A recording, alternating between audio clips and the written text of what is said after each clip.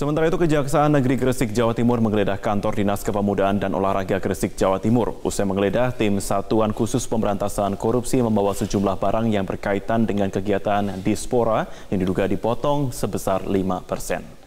Penggeledahan dilakukan oleh tim Satuan Khusus Pemberantasan Korupsi yang dipimpin oleh Kepala Seksi Pidana Khusus Andre Dwi Subianto. Penggeledahan berlangsung di sejumlah ruangan kantor Dinas Kepemudaan dan Olahraga Kabupaten Gresik.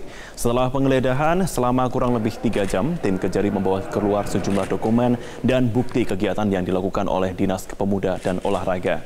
Kepala Kejaksaan Negeri Gresik Pandu Pramutika, Maskami Pramukartika, menyatakan operasi penggeledahan dilakukan terkait penemuan tim Kejari bahwa setiap pencairan dana kegiatan diaspora tahun anggaran, anggaran 2017 terdapat pemotongan sebesar 5 persen dan dan diserahkan kepada oknum di lingkup Dispora.